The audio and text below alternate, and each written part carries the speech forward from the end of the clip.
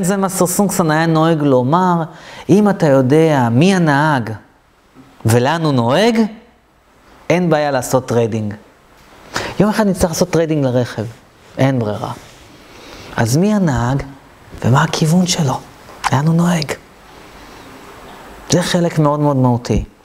אז כדי לעבוד עם זה בדרך המהאיאנה, זו נקראת המרכבה הגדולה, התפתח מה שנקרא ארבע התחייבויות. אני אגיד כל התחייבות ואני אסביר אותה.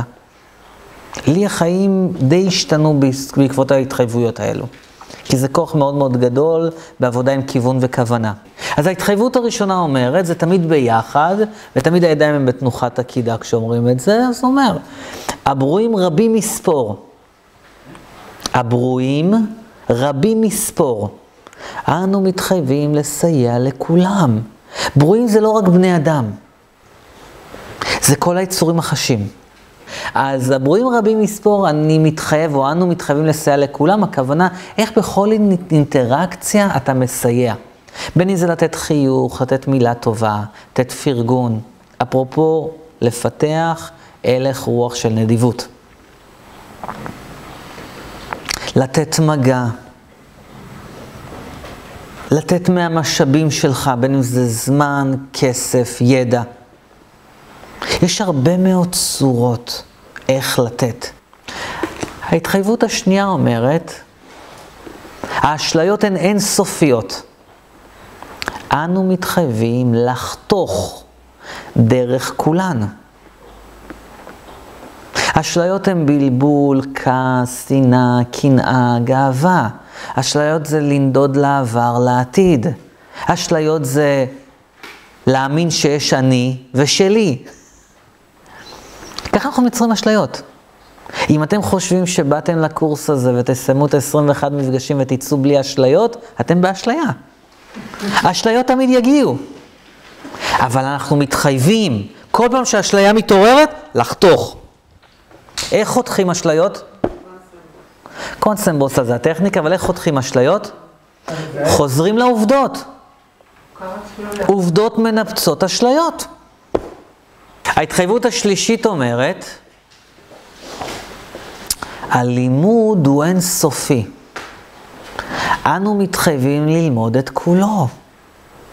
פה שאלה שמובילה אותנו, מנחה אותנו, זה מה זה להיות מתלמד. כי הלימוד הוא אינסופי, אנו מתחייבים ללמוד את כולו.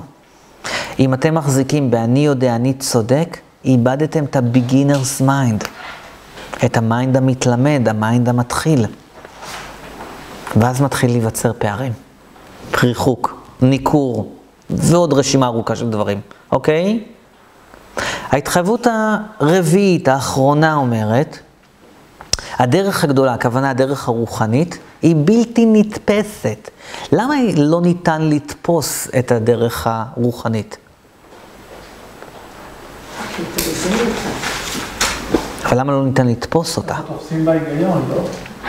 אבל אי אפשר לתפוס את זה בהיגיון, אוקיי?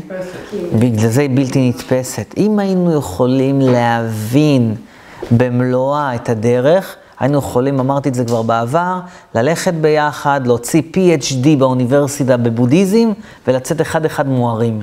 זה לא עובד ככה. איך מגשימים דרך? דרך חוויות. צועדים בה. זה תרגול. לכן שלושת ההתחייבויות הראשונות מדברות יותר על המה. ההתחייבות הרביעית אומרת איך. בדיוק, just do it. אוקיי? חלק מאוד מאוד משמעותי.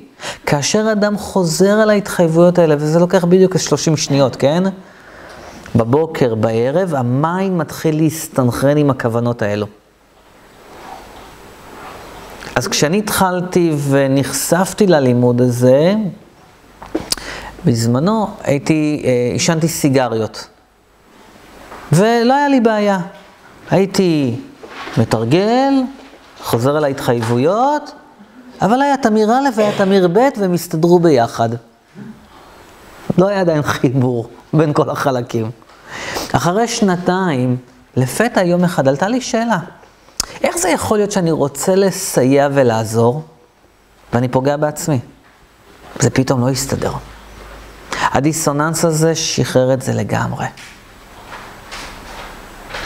המשכתי, חייתי כנזיר, פרשתי מהפרישות, פרשתי מהנזירות, חזרתי לארץ, התחלתי ללמד, עדיין אכלתי בשר, דגים, הכל. נזירים הם לא צמחוניים. אוקיי? נזיר זה קפצן. קפצן לא יכול להגיד, זה לא מתאים לי. את זה אתה לא יכול לתת לי. תביא משהו אחר, אוקיי? זה לא עובד ככה. קפצן מאוד נותנים לו, אומר, תודה רבה. אז בהרבה מאוד פעמים, מה שהייתי מקבל, הייתי תודה רבה. לא היה בקשה מיוחדת, אז אכלתי הכל.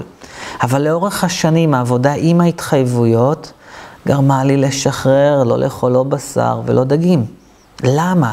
לא לפגוע ביצורים חשים. זה לא שאני לא אוהב בשר, עד היום שעושים על האש, אוויר, נשפך. אני לוקח חסה, אוכל חסה. אבל הרי, הריח. ואני רוצה להגיד לכם שכשאתה מפסיק לאכול בשר ודגים, החושים שלך הרבה יותר מתחדדים. חלק מאוד מעניין של חוויה, אתם מוזמנים להתנסות, מי שרוצה, מהימים, אה, זו הזדמנות, והרבה מהתשוקה נרגעת.